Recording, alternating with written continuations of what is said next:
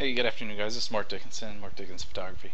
I'm going to do a real quick tutorial on some uh, skin tone and treatment here.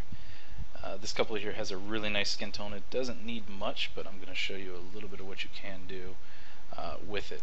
I think this one was shot at a very low uh, f-stop here, and you can check that by doing uh, I on your keyboard. Or if you know how to, uh, the quick easy way to do it is with the I, but you can always do library and then scroll down all the way to the bottom kind of down here and see the same thing. Uh, but on this one here, what I want to do is I want to just go in a little bit.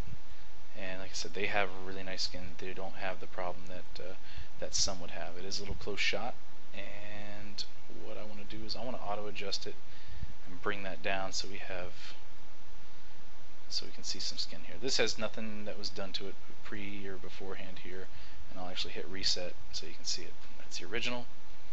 Uh, but in your HSL toning, color, black and white, and all this uh, down here, this is probably the best place that you want to be if you ever want to manually control something there. Pull your hue, saturation, and the L word out, luminance. Uh, you have that to where you can do all of them. now you have full control basically over all of the uh, um, the colors hues and saturations in here. I'm going to shrink this down so we have a bigger working play play area here. I am working on my other computers here. These are the I think 20 inch monitors, so it's kind of small. But one of the things that uh, that I like to do, especially if you're shooting indoors or outdoors, you can see that you can really do uh, some damage if you're not careful. Not really damage, but you know you can always go back. But this just brings down the darks uh, in the orange because our skin's primarily going to be based out of that orange, if I remember correctly. Same thing with reds. If you have someone that has like rosacea, I think is what it's called, uh, where you see the little veins and spider veins in their face, you can actually help correct that through here. Um, and as I was mentioning, there greens I don't think come into our skin too much right there, so you can always just play with that. And I'll even turn all these down. Her shirt's going to go gray here on me in just a minute. And when you do luminance, luminance, I can't pronounce that word, but when you do that one, uh, you can actually come in and you can see there that's the only three colors that we have in our, our skin tones right there. Uh, the yellows you can see when you boost that around and mess with that you're going to uh, see a little bit of the teeth and the whites of your eyes.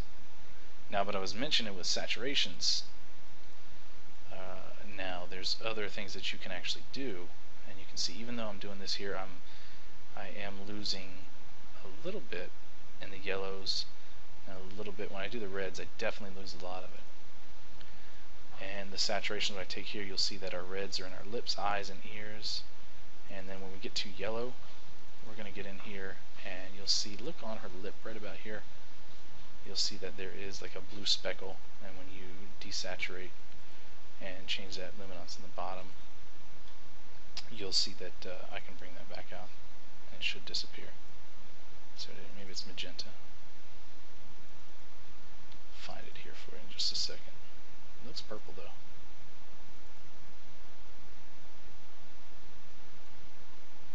I think my computer's kind of hanging up there for a second.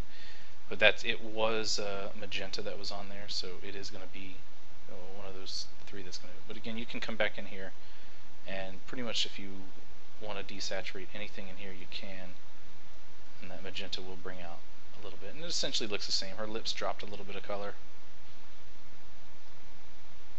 and that was a full reset. But what you can do is you can now see that faces and, and people are primarily cons uh, consistent of red, orange, and yellow. And now you can come in here and control that. See how I just darken that up? Brighten that up just a little bit. Same thing here. And you can do some like skin softening almost with with these different uh, treatments. That's very, very slight, and it's only on the corners of her hair and shirt. Um, now when you saturate, does a whole totally different thing here. You'll see that it does saturate the colors within it, but just in moderation, you can actually come in here and uh, make that look pretty good. Now remember, this corner right here is going to be dropped off because our magentas, if you want to put that back in, is was taken out. Hues, not too fun sometimes to mess with those, especially if it's something of this nature here. You're going to make a uh, uh, you know crazy looking shot.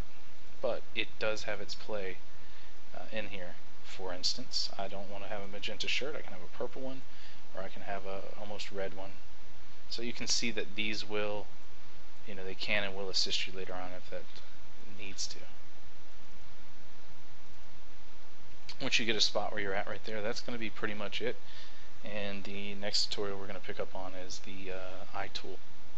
So I'll be back with that, and I'm going to leave everything like it is and do the eye tool.